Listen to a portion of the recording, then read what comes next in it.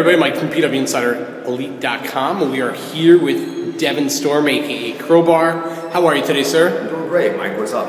Um, well, you know what? Extreme Rising, uh, you've kind of been a force from the first show on. Uh, the match with Jerry Lynn kind of stole the show in a lot of ways, saved the first show.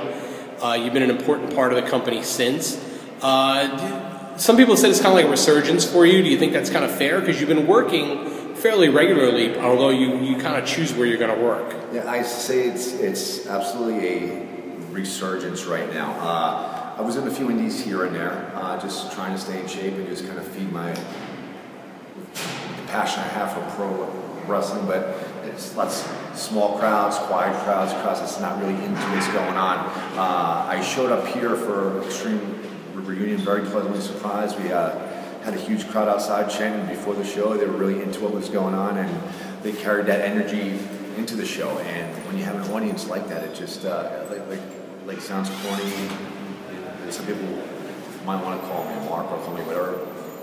Like like it doesn't matter. I'm happy. Uh, it just makes it more fun. Uh, it really drives you to want to do more, to give more, and to have that interaction back and forth with the people.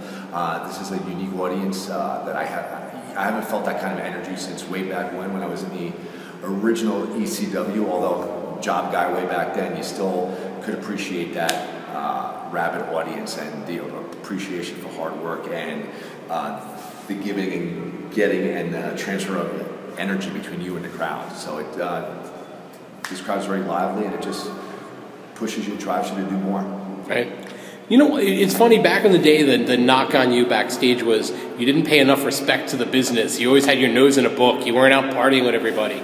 Like now, you fast forward a bunch of years, and you're still working on a regular basis. You're still in good shape. You're still having good matches. You've got a full time business that you run. You know, so what do you say to the people that were like in the back and kind of saying, "Oh, you don't respect the business. You're not paying attention. You don't care about the business." Uh, proof is in the pudding. Uh, at, at, at, the time, it's something called delayed gratification. I, I was immersed in pro wrestling. I was enjoying being in pro wrestling.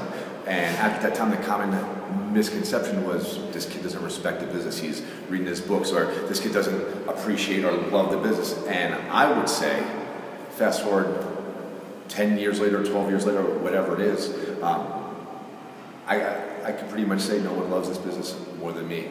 I've created a situation, a very unique situation. I don't need to be here. I absolutely don't need to be here. It's not a money thing. Uh, look down on me, call me Mark, call whatever you want. I don't need to be here. I choose to be here because I love going out there and performing. And now I can do it under my terms.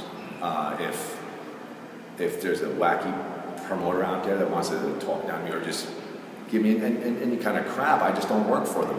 I enjoy working for this group. Uh, the management here has always been great, great to me.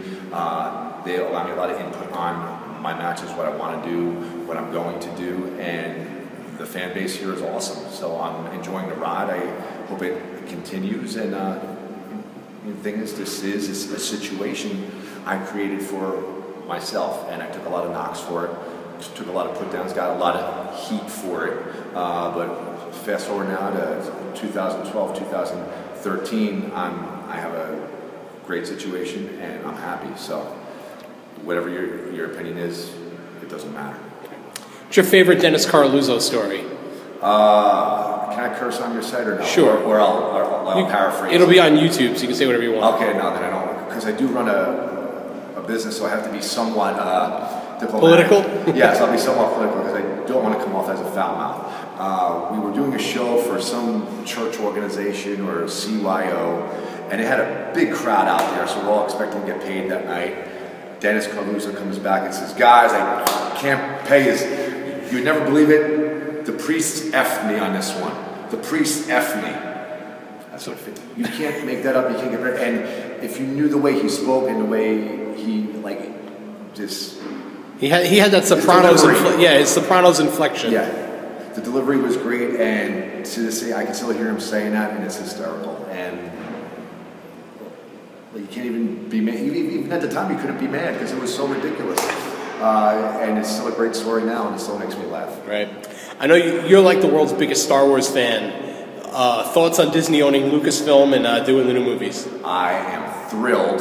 Uh, first and foremost, I'm thrilled that this huge company purchased Star Wars and huge George Lucas fan, but unfortunately George didn't want to continue the Star Wars legacy. And even during my time in WCW, uh, I spent a lot of time on the planes in my hotel room at night. Uh, guys would go out and tear it up. I would eat something. I would, I would go back to my room and I would read a Star Wars novel. Very um, the expanded um, universe. I'm a wild man. I, I, would go back to my room and and I would go through two, three novels a week. And the, the, bottom line is, I could look forward to a new Star Wars movie every two or three years, whatever it is, until the day I die. It's, it's, it's just add a whole new thing to my whole existence on this planet. Gives you a new reason to yes. live. Uh, I'm a huge fan. My wife's a huge fan. My kids love it. Uh, the Ford family are complete geeks. We tape the Clone Wars TV show and watch, you know, if sometimes I'll a set where it's four, uh, a four episode thing. So we'll wait till all four run and we'll watch them as a complete series as a family. Uh, like I said, Ford's Complete Geeks, we are thrilled by Disney's acquisition of George Lucas's uh, Star Wars. And uh, like I said, looking forward to all the stories that come after Jedi, maybe some that came before the original trilogy, and uh, the possibilities are endless. Uh, we just got back from Disney. We were there for Christmas. It was our first time there. Uh, very, very, my first time there since I was in eighth grade, and I, I was probably on the Star Tours ride nine times. And on two mornings, I the park gates opened up, and I sprinted to uh, the little building in, in, the middle there to sign my kids up to duel with Darth Vader and Darth Maul at the, at the Jedi Academy. So you, you, saw this wacky guy with long hair sprinting down the middle of Disney, Disney Hollywood Studios, to this building just to sign my kids up. And uh, they each got to fight Maul once and Darth Vader once, and it was just an awesome experience. The only bad part is the, the cutoff was 12 years old, so I couldn't do it. Nah, and you would have. Absolutely. Might have hit him with an Asai moonsault. Uh, yes.